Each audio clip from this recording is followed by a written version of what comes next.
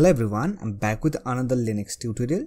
Here in this video, we are going to discuss how we can install VLC Media Player in Ubuntu. So that's been said, let's get started. In order to install VLC Media Player in Ubuntu, you have to download VLC Media Player installer file.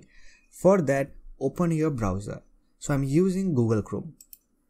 Let me tell you that I already made a video on how you can install Google Chrome on Ubuntu. So I'll put the video link in the i button or you will get the video link in the description box and visit videolan.org.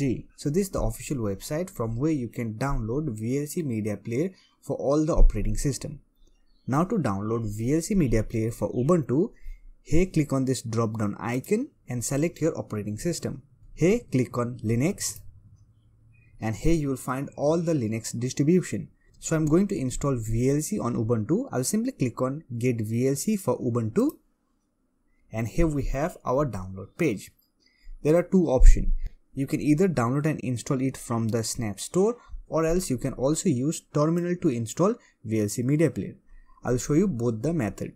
To download VLC Media Player for Ubuntu from the Snap Store, simply click on this option here you will find the option to download VLC Media Player. Now to open the store, simply click on OpenXDG Open. It will open the Ubuntu Software Center and here you can see the source that is Snap Store. Here simply click on install button to install VLC Media Player in Ubuntu. Now let me show you the second method by which you can install VLC Media Player in Ubuntu. So for that let me minimize this browser. Here click on show application option and open terminal. Here you have to run a simple command called sudo snap install VLC then hit enter and enter your password.